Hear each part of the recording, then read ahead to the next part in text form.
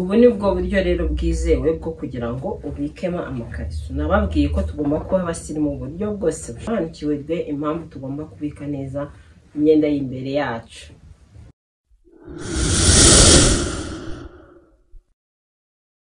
Waha ikaze rero ufunga video zanjye bwa mbere niba iri mushyashya hano nitwa cyusa eduse nkaba nguhaye ikaze mu muryango mugari w'abantu bashaka kwambara neza gusa neza kwiga ndetse no kubona amafaranga.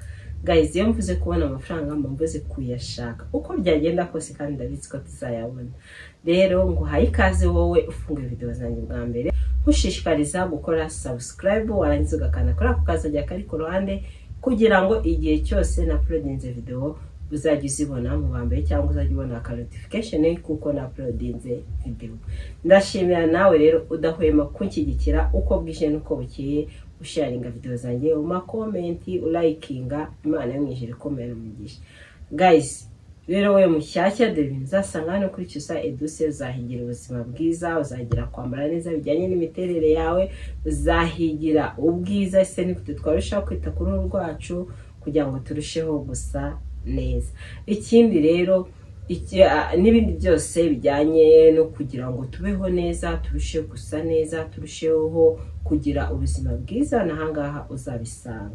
Rero icyo ngusabye ni uko utazakora amaso yawe hano kuri kisa eduse nanjye icyo ngusezeranyije ni uko ntazigera nguterwa n'umusiri umwe videwo ku gihe kandi nziza irimo ibintu by'ubumenyi. Guys mbere y'uko dutangira videwo yanjye y'uyu munsi kugira ngo turebe se ni gute twarushaho gusirimuka mbese kandi ku bintu byacu bya makeya ku bikoresho byacu bya makeya. Ndagira ngo mbere na mbere umfashe ukande kuri like ume comment ushaka kumera comment ukambwira ati thank you ushaka kumwira comment akanyandikiramo agatima ushaka kulayikinga guys. Iyo ulayikinze video zanjye youtube imfasha nanjye kuzisharinga ku bantu bagiye batandukanye. Nurangiza usharinga inshuti zawe uvuge tumva waracika mu kuba utareba kuri cyusa edosi ikindi ngwino wambike neza bijyanye n'imiterere yawe nka mujyanishiriza amabara ngeti iri bara rirajyanire n'iri kandi ikindi nkubwiye ngo ugomba kwambara iki n'iki n'iki kwako uteye gutya. Guys rero ushobora kunyandikira kuri iyo nimero ukambwira ati sevinga nimero yanjye kugira ngo mbone sitatasi zawe. Kuko buri mu gitondo uko byagenda kose ndapositinga kandi abantu barampahira. Nshimira n'abantu bo mu ntara bakomeje kumpahira bakanyizera bakanyereza amafaranga yabo nanjye nkabohereza ibyo baguze. Nkubwira ko nkora derivari ahantu aho ariho hose waba uri yaba ari i kigali yaba ari mu ntara aho hose muri derivari kandi no mu hanze y'u rwanda noherezayo imyenda. Guys rero mungirire icyizere mungane muze mbambike. Mbere y'uko dutangira videwo yacu rero uyu munsi nifuje ko tuganira ku bintu by'iki? By'amakariso. Ese tubika gute amakariso yacu? Tubika gute amasute yacu? Ese ni hasi hahandi ugenda ugapfa kujugunya hariya? Ugasanga mikorobe zigiyemo ugasanga gisute ndaje mu kanya dutangiye videwo yacu rero. Guys rero nk'uko nabibabwiye aka kantu nakaguze muri tedemeri kagura amafaranga ibihumbi bine magana atanu kananacyariho biracyariho. Aka kantu rero kamfasha kubika imyenda yanjye y'imbere neza cyane kandi bisirimutse. Ndagafata nkakatereka ahantu nshobora kugatereka ku kameza nshobora kugatereka muri gariderobe yanjye. Narangiza iyo majije gufura imyenda yanjye y'imbere mfata ya myenda nkayizinga neza cyangwa nkayitera ipasi narangiza nkarambikamo hano. Narangiza kugira ngo bigire sekirite nkapfundikira ubundi kaba gateretse gutya. Najya gushakamo icyo ngiye kwambara ndafungura ngateruramo nkafata icyo kwambara nkongera nkasubizamo. Murumva ko rero ari ibisirimu. Aka rero ni ibihumbi bine magana atanu niko nifuje ko tuganiraho. Noneho ikindi nkwereka n'uburyo ki warushaho guporotekita imyenda yawe y'imbere kugira ngo itazajya ijyamo amamikorobe ntabwo ikariso ntabwo isutiye bayibika ahantu aho ari hose babonye. Nk'uko ushaka gufata umwenda ukawumanika kuri porotemanto nk'uko ushaka gufata ipantaro yawe ukayimanika ahantu kugira ngo itazandura niko nabwo ugomba guporotekita imyenda yawe y'imbere. Tuvuge ko ahangaha ariho gateretse. Noneho ibi ni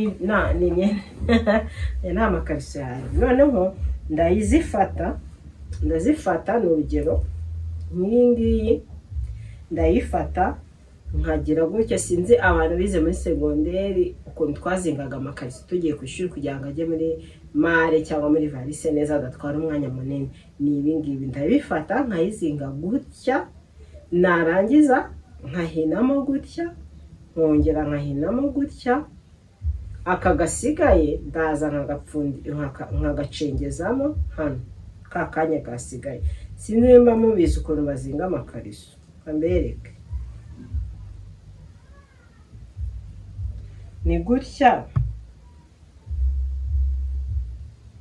Narangiza nkashyiramo gutya nuku hasigara ncengezamo hano gutya bisanzwe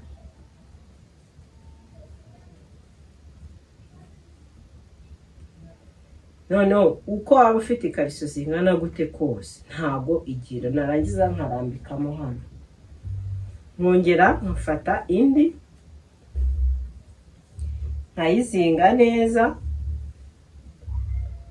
Sinzi nimba nzabisubiramo nkabibereka nkafata ka kandi kasigaye nkagacengezamo hano hejuru ikamera gutya. Dore. Ntangiza nkazinga iyi na yo nayizinze. Akakomana yanjye sinzi ukuntu turi bukazinge. Sinzi ukuntu turi bukazinge sinzi ukuntu turi bukazinge ariko karazingika da mukazinga iyi ni geyi umuntu utararebye videwo y'amakariso yagenda akayireba ifata inda neza. Iyo ntabwo nabona ukuntu nyizinga nkayizinga neza bisanzwe nkayirambikamo. Iyi ngiyi ni koto umuntu yambara yagiye mu kibada. Ni nziza kuyambara yagiye mu kibada. Ni nziza pe. Sinzi abantu iyo mwagiye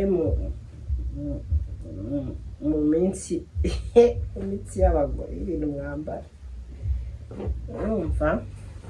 Noneho aha ni amasutiye nkagira ariko biba byiza uguze tubiri ngewe utaha nijya kugura nzagura kandi nzajya nshyiramo amasutiye ngashyiramo nkashyiramo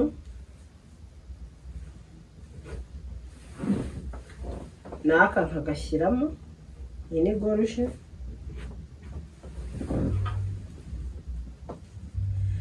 Nizere ko mwabibonye. Ibintu byawe biba biri sefu warangiza ukagira ute? Ugapfundikira. Nta n'umuntu wamenya ngo se hano habitsemo ibiki. Bibaze rero dufite ari nk'utuntu dutatu ubikamo amakariso amasutiye n'utundi tuntu twawe tw'imbere ukoresha udusume uduki. Byaba ari sawa cyane. Aka kantu ni keza mugende mugashake mukagure. Agasirimu ngewe narakaguze nakaguze ibihumbi bine magana atanu purize ukabika amakariso neza ukabona bisa neza uburyo n'umuntu ashaka kuza kugusura akajya mu cyumba cyawe akabona ibintu bitajagaraye cyane. Niyo mpamvu rero mpora mbashakira ibintu byiza by'ibisirimu ku mafaranga yacu make. Utu tuntu mberetse aka kantu mberetse simujya mukabona mu byumba by'abantu b'abakire babikamo utuntu tugiye dutandukanye.